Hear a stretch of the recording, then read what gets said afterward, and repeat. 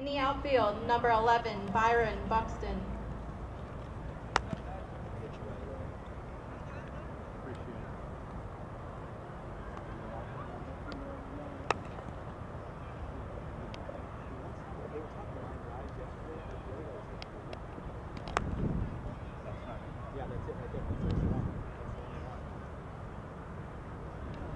Sure.